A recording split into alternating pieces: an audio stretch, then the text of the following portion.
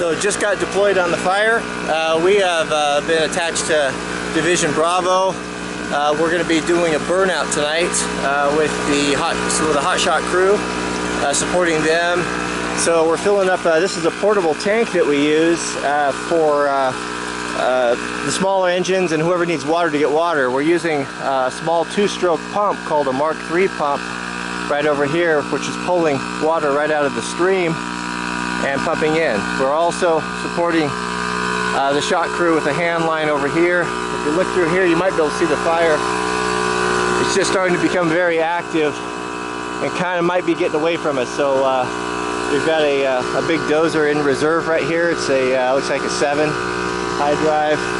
Uh, things get really hairy, but uh, it's just getting started. It's going to be a long night and we should see some pretty active fire. So I'll bring you along and show you what I can.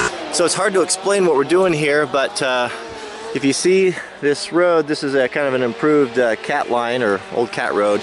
Uh, we are trying to uh, stop the fire here. It's coming from that direction and we're expecting a low pressure zone or weather is to change. When low pressure comes in, usually that means really increased wind and we could lose everything that we've done if we don't get this area taken care of. So we're uh, brushing this out in here back into 100 feet. That's where you see all the saws and I'm pulling all the brush and the cats and the skidders and all of that because uh, the hot shot, warm spring hot shots are gonna come through here and no, I think they're light this with a helicopter. Hopefully, that's something you don't get to see very often. It uh, shoots out these little ping pong balls, these flaming ping pong balls and it'll fly along there and light this whole thing off. So what we're trying to do is just harden this line up to make sure at all costs that it doesn't get over here. Because if it gets over here and gets away from us, everything we've done here for a week is going to be for naught. So that is kind of a quick synopsis of what we're trying to do here.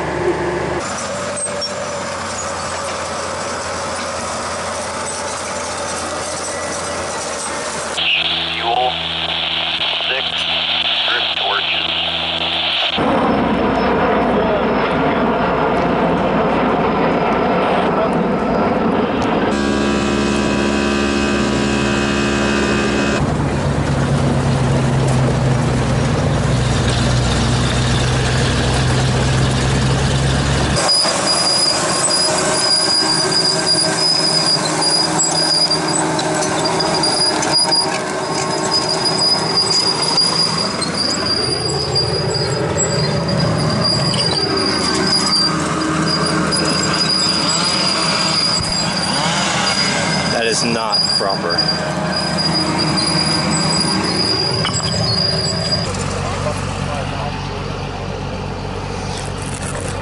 So there's about uh, 400 herd of cattle up here, and so the cowboys have been working here all week uh, trying to pull the cattle down uh, so they don't get the fire.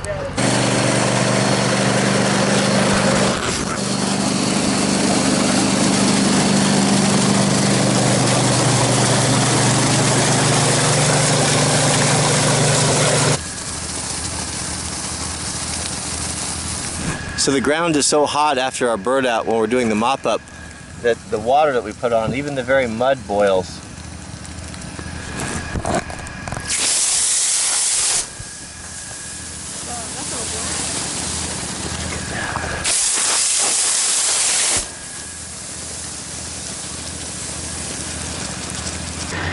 I want to show you one of the coolest machines I've seen up here.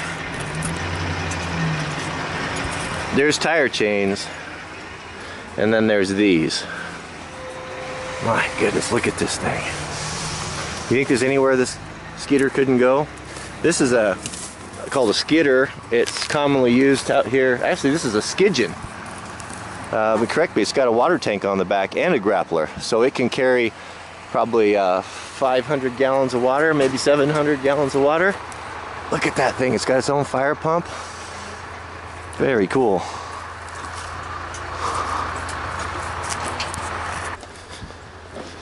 Here's a skeeter cat.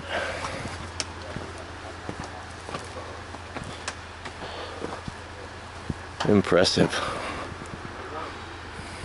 That's something I really don't like is when your foam system feeds back into your tank.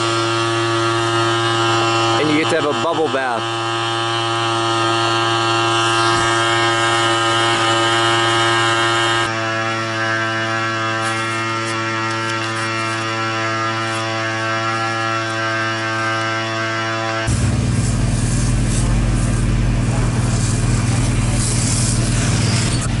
Best job in the world, this.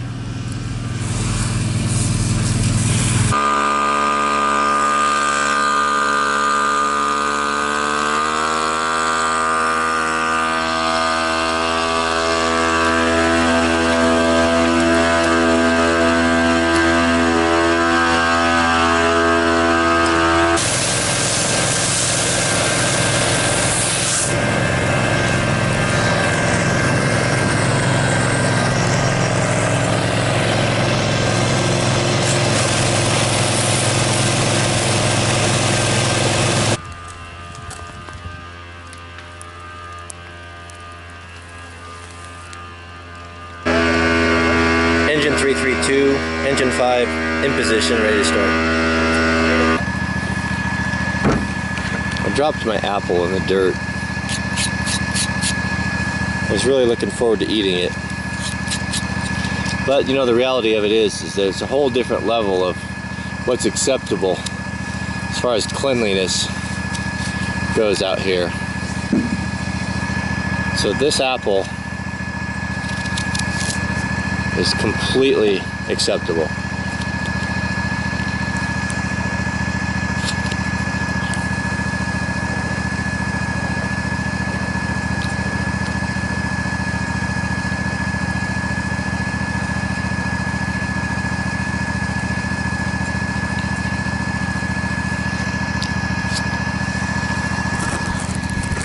So I just returned home last late last night after uh, three uh, tough 16-hour shifts, and you know, it's I was putting this video together, and um, the emotions it, it, it, invokes for me is uh, it's hard to explain.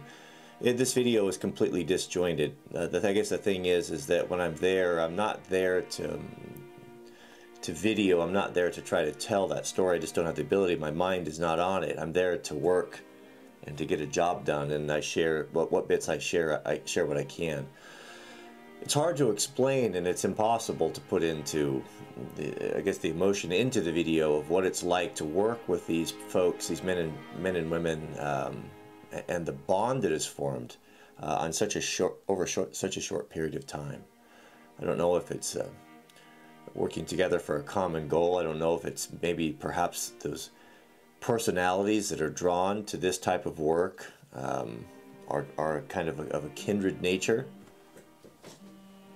Mrs. Wranglerstar calling, honey, I'll call you right back. Um, I don't know what it is. You know, last if you haven't heard already, I'm sure everyone has this on the national news.